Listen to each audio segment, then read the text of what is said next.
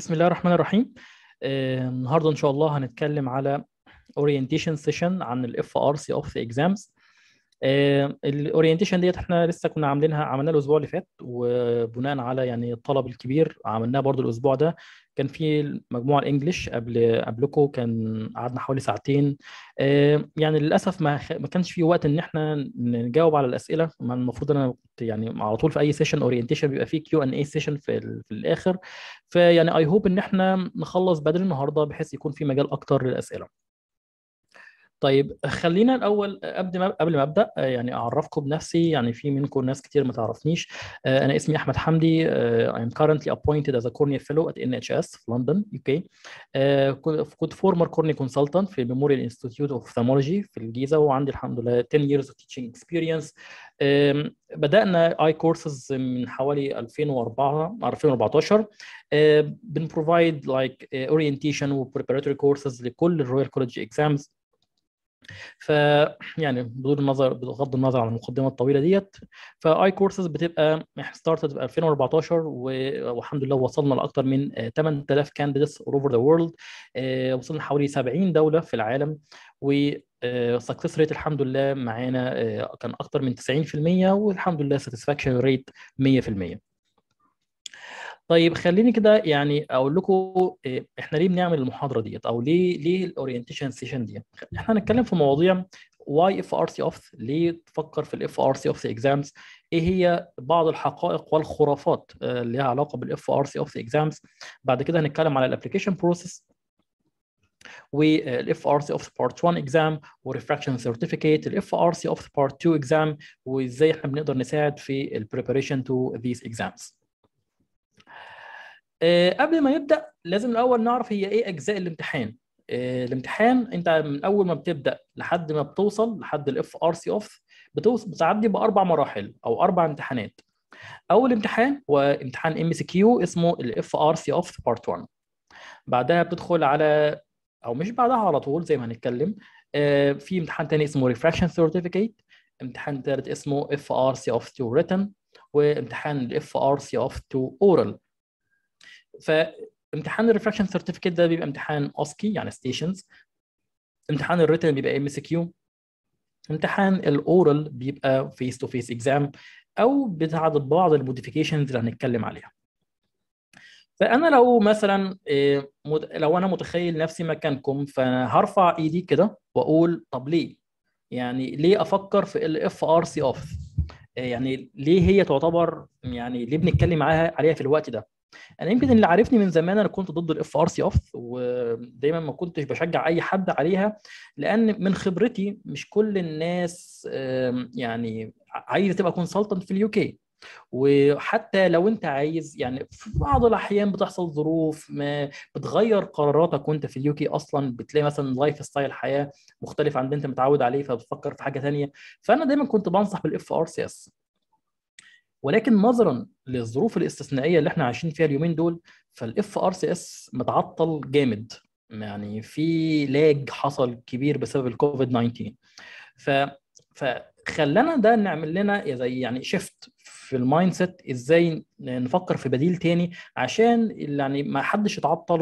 ويوصل لحلمه يحقق اللي هو عايزه. فليه بنتكلم دلوقتي على ال FRCOphth لأن هي بت... بتديك ال GMC registration هتقول لي طب وإيه الجديد يعني؟ طب ما يعني حاجة منطقية.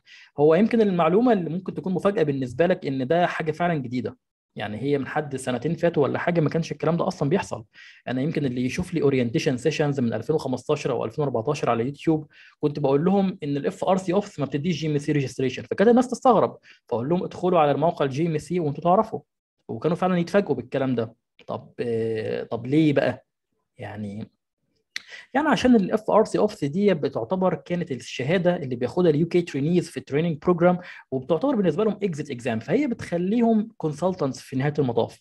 فهو يعني هو مش محتاج إن حد من بره ياخد ال FRCOphth ولكن مع تغير الأوضاع والأحوال بقت دلوقتي ناس كتيرة مقبلة عليها من بره ال UK فبدأوا يخلوها آه، بقت acceptable for GMC registration فأنت لو خلصت ال FRCOphth تقدر تقدم على أي وظيفة في ال UK.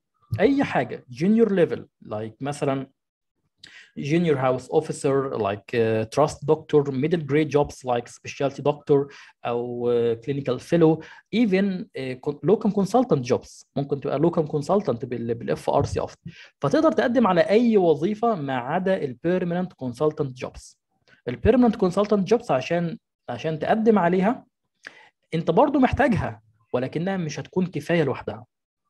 مش هتكون كفاية إن أنت تبقى consultant في ال UK لأنها هي واحدة من الشروط اللي أنت محتاجها عشان تبقى consultant لكن في شروط تانية.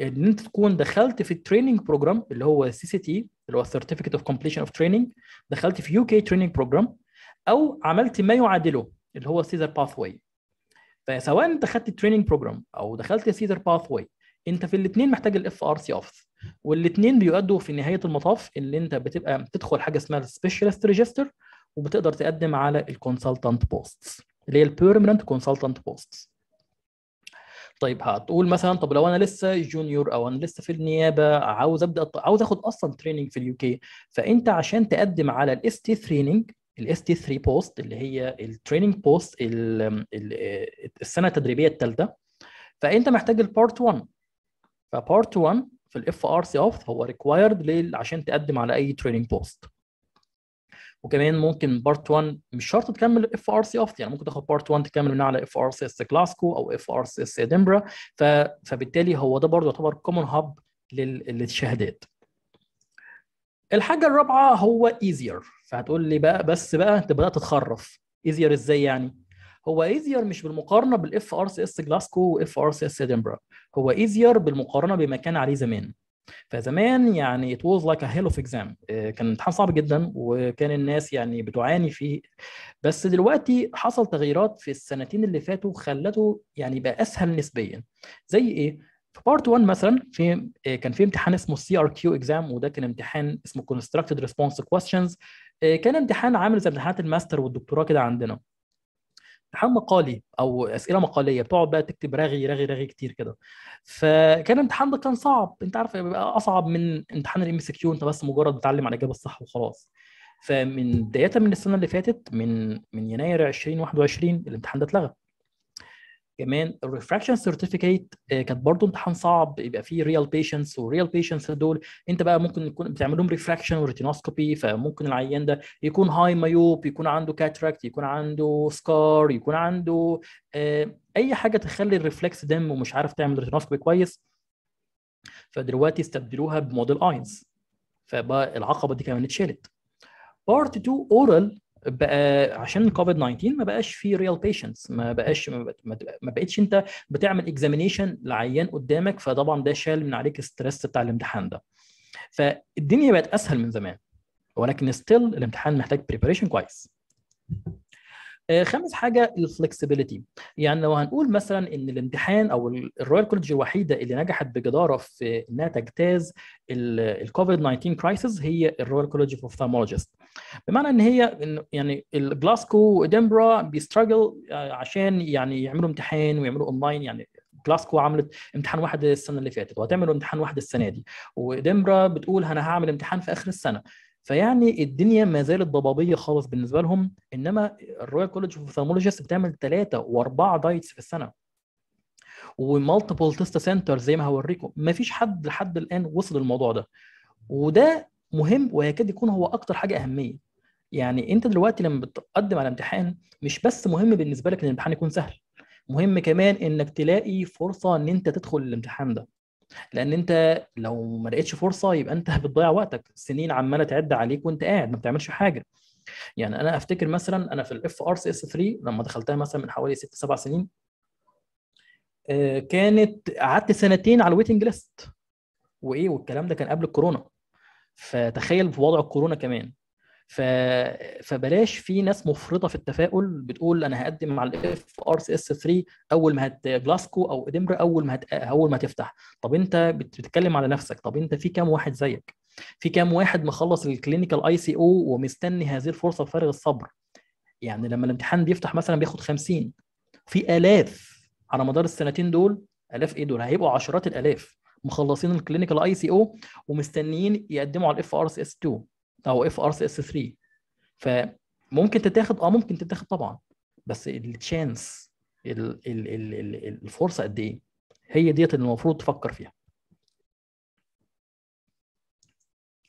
آه، طبعا من الحاجات المميزة كمان هي إن ده online exam فبالتالي يعني الناس اللي بقى الامتحان مش بيتعمل في مدينتها أو في بلدها فممكن تسافر آه، أو دلوقتي يعني it is done at the comfort of your home. مش محتاج تسافر مش محتاج تروح في حتة. الامتحان بيتعمل في مكانك. طبعا أنا بتكلم على part 1 و part 2 written طب تعالوا بقى أقول لكم بعض الـ myths and facts regarding the FRCOphth exams. الحاجات اللي أنا بسمعها كتير كتير من الطلبة بتوعي ومن يعني ophthalmologists all around the world. أول حاجة يعني الشائعة الأشهر اللي أنا يعني إن أنا معفي من الامتحانات ببعض امتحانات الـ ICO وللأسف يعني السبب في نشر هذه الشائعة هم الـ ICO نفسهم. يعني هم الحقيقة محترفين في نشر هذه الشائعة. يعني يقولوا يبعتوا للناس يقولوا أنت بص أنت هت... أنت خد الـ advanced exam وهنعفيك من الـ problem solving وأنا أبعت وابعت ل Glasgow أنا بنفسي أسألهم يا جماعة الـ ICO قالوا كذا كذا كذا. وكاتبين الكلام ده في الـ test report يقول لك لا Glasgow تقول لك لا مفيش مفيش الكلام ده خالص. دلوقتي مطلعين شائعة جديدة إن الـ advanced exam هيعفيك من الـ part 2 written بتاع الـ Royal College of Ophthalmologists طبعا هذا الكلام غير حقيقي وغير موضوعي ولا يمت لحقيقة بصلة. لأن up to date حتى الآن ده الكلام المكتوب على الـ Royal College website Royal College of Ophthalmologists does not offer exemption to ICO exams holder. فيعني خلاص يعني قضي الأمر. فيعني ما فما أي بقى حد بقى يقول لك إيه لأ اعمل كذا. يعني مثلا كان في الأسبوع اللي فات واحدة برضو كانت بت debate معايا بتقول لي لأ هو الاي سي أو أنا مستحيل ال ICO يعملوا كده ومستحيل يعني هم قالوا فعلا إن إحنا هنوفر exemption للناس اللي معاهم advanced من part 2 طيب اولا الكلام doesn't seem logic. ليه؟ لأن part 2 format أو اف وال advanced exam format مختلف تماما. هنا بي بي بي بيسألوا على حاجات وهنا بيسألوا على حاجات مختلفة تماما. وحتى لو يعني فرضنا مثلا هنخلي ال logic على جنب طب بسيطة نبعت إيميل لل Royal College of Ophthalmologists ونسالهم. فبالتالي لا تنساق وراء اي شائعات يعني دايما خد كلامك من مصدر رسمي ومصدر موثوق منه. تاني حاجة برضو ديت يعني كانت برضو حاجات بتأخر ناس كتيرة. يقول لك إيه؟ يقول لك إذا كانت إدنبرا وجلاسكو بيحتاجوا سنوات خبرة عشان أقدم عليهم. أمال لندن بقى تبقى عايزة إيه بقى؟ لا لندن لا تحتاج أي سنوات خبرة. أنت مش مش مش مرتبط بأي سنين خبرة عشان تقدم على زمالة لندن. ولكن أنت زي ما ال Royal College website بيقول لك you are unlikely to pass if you don't have the required experience. فالموضوع مش بالسهولة اللي اللي أنت اللي هو اللي أنت ما عنديش خبرة يبقى أنا أخش بقى ال exam. لا لازم لازم هو شايل معاك شرط الخبرة ده لأن هو بيحط لك الامتحان في مستوى اللي حد اللي ما عندوش خبرة مش هيعرف يعديه. فال experience مهمة ولكنه لا يطالبك بيها. ثالث حاجة هي ديت ممكن مثلا واحد يكون آخر معلوماته عن ال Royal College exams مثلا من سنتين فاتوا أو من سنة فاتت. فمتوقع إن هو هيمشي في ال sequence الطبيعي زي زمان اللي هو هيدخل part 1 وبعدها refraction certificate وبعد كده يدخل part 2 لا الحمد لله ال sequence ده ما بقاش يعني مرتبطين بيه ما بقاش ملزم. يعني ممكن تقدم أول امتحان ليك ممكن يبقى ال refraction certificate وممكن يكون ال FRCOphth 1 by any order خد ده الأول وبعد كده ده اللي أنت عايزه. تاني حاجة ال refraction is not required for part 2 written. دلوقتي تقدر تدخل part 1 وأنا ماليش مزاج أدخل ال refraction certificate خليه على جنب شوية. ماشي اركنه وادخل part 2 يعني لو أنت مثلا في mood المذاكرة كده و fresh ودخلت part 1 وعاوز تستفيد من الحاجات اللي أنت ذاكرتها لأن هتلاقي في بعض المواضيع المشتركة ما بين part 1 و part 2 زي ما هوريك دلوقتي. ففي الحالة دي ممكن تدخل part 1 و part 2 بعد كده refraction certificate المهم لما توصل عند آخر امتحان يبقى يكون كل تكون خلصت ثلاث أجزاء. خلصت part 1 وال refraction و part 2 written okay طيب. ال myth الرابعة هي إن ال FRCOphth will get me better jobs than the FRCS دي بقى بسمعها كتير قوي. هو يعني أنا لو دخلت ال FRCOphth هبقى consultant أو لو خدت ال FRCOphth هاخد بقى يعني level أعلى. لا هو الموضوع مش كده. هو ال qualification it is a way for GMC registration. أنت مش محتاج ال أو ال job أو ال qualification ديت مجرد بس بتسجل فيها بال GMC ولكن عشان تبقى accepted في job offer الموضوع بيتوقف على ال CV بتاعك. skills يعني clinical skills surgical skills audits research teaching skills presentations leadership and management skills حاجات دي حاجات كتيرة كده. فال qualification واحدة منهم. فهي ال qualification هي بتفتح لك الباب لل GMC registration عشان تدخل بقى عشان تدخل ال UK system ده بيكون باللي انت بتعمله بقى طول حياتك. فاهمني؟ طيب آه، أي بعد كده البايرو ال myth الخمسة هي I can apply for permanent consultant jobs after I pass the FRCOphth exam. ودي وضحتها إن إن ده مش مش شرط. أو it is not it is one of the box خدوا بالك في حاجة في, في ال UK system اسمها tick the box أنت عشان تعمل حاجة وعشان توصل لحاجة في box عمال تتعلم عليها كده. وتخلصها. ال passing the Royal College of Ophthalmologists exams بت tick many boxes عشان ال boxes ديت مهمة في ال application بتاعك عشان تبقى consultant في ال application بتاعك إن أنت تاخد ال CCT أو ال CESR pathway فال FRCOphth هي one of the requirements. بس هي مش everything. لا أنت لازم تدخل يا إما training program بال CCT وفي النهاية تاخد ال certificate of completion of training أو ال more qualified ophthalmologist أو more skilled ophthalmologist بيعملوا some sort of equivalent pathway اللي هو ال CESR pathway بحيث إن هو ياخد ال FRCOphth وخلال 3 4 سنين مثلا يجمع ال competences اللي ال UK trainees بيعملها وفي النهاية بيبقى consultant فده عشان تبقى permanent consultant في ال UK لكن ال locum consultant ممكن تقدم عليها بال FRCS ممكن تقدم عليها بال بال بال FRCOphth مش هتفرق. مش محتاج تخش في أي training program المهم بس يكون عندك ال experience الكافية إن أنت تبقى على consultant level طيب الار سي اوف if سي اوف exams are impossible to pass ودي برضو واحدة من الخرافات واللي هد... النهارده يعني هن contradict الخرافات ديت بال... بال... بالدليل بال numbers and numbers don't lie. أوريكم ال success rate بتاعت ال previous exam in the previous 2021 diet وخلينا نشوف بقى هل فعلا الكلام ده حقيقي ولا لأ. فتعال كده نشوف about the FRCOphth exams pass rate according to 2021 خد بالكم يعني دي مش اختراع من عندي ده برضو موجود عند في ال FRCOphth website انت ممكن تدخل وبيقول لك السنة كذا امتحان الكذا. آه، نسبة النجح فيه قد إيه؟ وهكذا.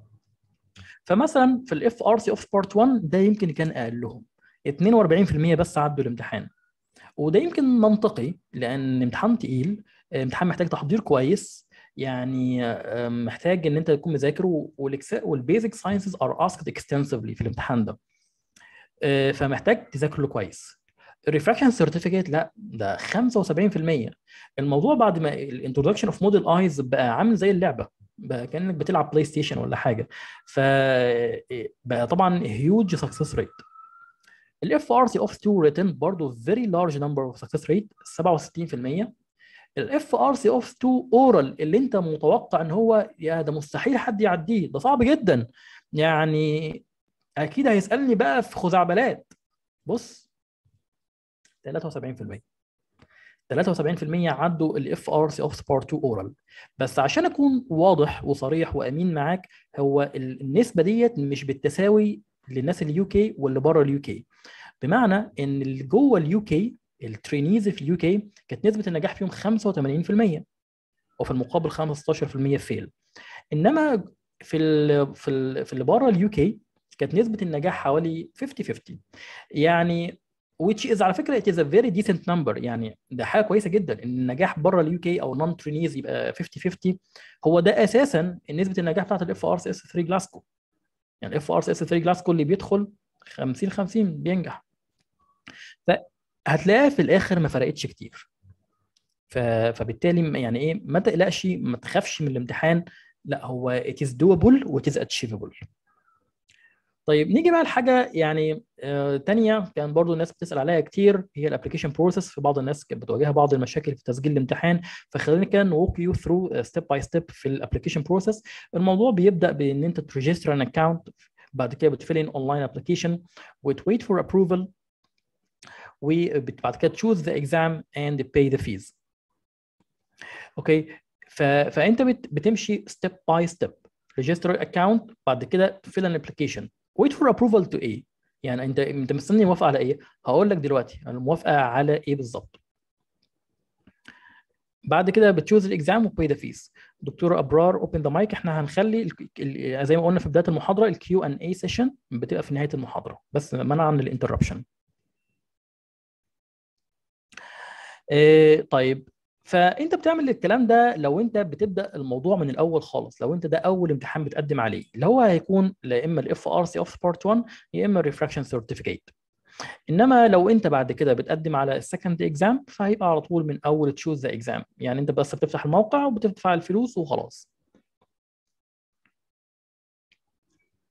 طيب الموضوع بقى بيتم إزاي؟ بتفتح موقع ال Royal College تختار My RCOphth لأن أنت لازم تكون registered in the website أنت لازم تكون الأول متاح لازم تكون مسجل في الموقع عشان تقدر تعمل أي حاجة. فلو أنت ما عندكش username أو password بتختار create a new account تملى بياناتك اسمك عنوانك تليفونك email ك password بعد كده بتختار next. بعد كده بتختار ال status بتاعتك فأنت في المعظم overseas ophthalmologist وبعد كده بعد ما تسجل بتختار RCOphth exams. وعلى اليمين بتلاقي part 1 RC of the exams or part 1 uh, FRC of the 1 مثلا لو هنختار مثلا عاوز أسجل في ال FRCOphth 1 exam بعد كده بختار book your exam وهنا بقى يمكن هنا بقى ال stuck هنا بقى الناس بت stuck هنا بت struggle هنا. ليه بقى؟ الفكرة في إن ال Royal College of Ophthalmologists بتبقى عايزة الأول تعترف بشهادتك شهادة البكالوريوس أو ال primary medical qualification فعشان ده يحصل لازم يكون معاك حاجة من خمس حاجات.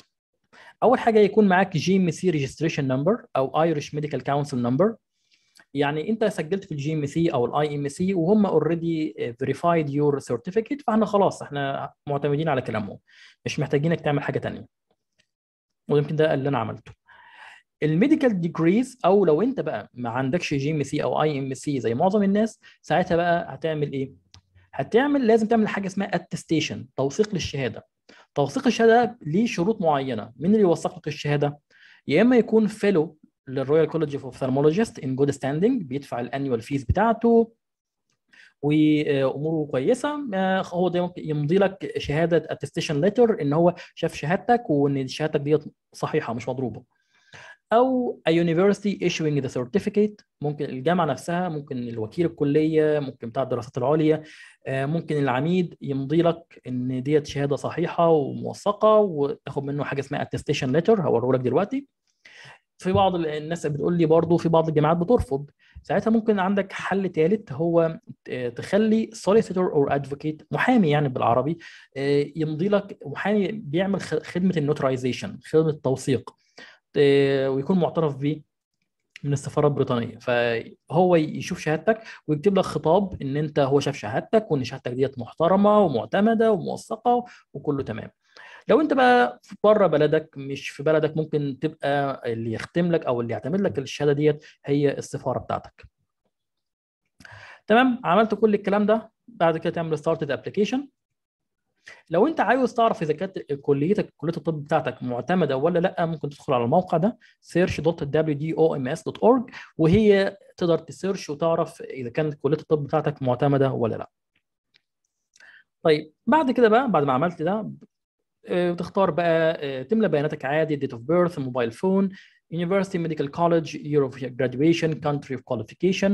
لو انت في foundation year 2 بتكتب yes if if no بتقول no. تكتب ال GMC number بتاعك لو ما عندكش بتكتب NA لو ال IMC number كذلك. بت upload الشهادة بتاعتك اللي هي تم توثيقها وت upload خطاب توثيق مرفق بها من الشخص أو الجهة اللي وثقت لك هذه الشهادة. وبعد كده لو انت عندك اي بقى اجراءات investigation suspensions ولا حاجة بتكتب هنا عدد المرات اللي انت عملت في الامتحان والتواريخ اللي انت عملت في الامتحان لو كنت انت دخلت الامتحان ده قبل كده. بس وبتعمل ده ده نموذج للل letter of attestation من جامعة 6 أكتوبر في في مصر بيبقى كاتب عنوان ال Royal College كاتب عنوان الجامعة وال letter of attestation ده مثلا دكتور الفلاني من كليه كليه الطب 6 أكتوبر بيكتب الخطاب ده عشان ي attest إن هو شاف و attested فلان الفلاني medical degree certificate فده ال letter of attestation لو تقدر تجيبه من الجامعة. طب ما عرفتش. هوريك letter of attestation أنا كنت عامله بس مش لغرض الامتحان كان لغرض يعني تعريف شخصيتي لحد ما أو لجهة ما من سنتين.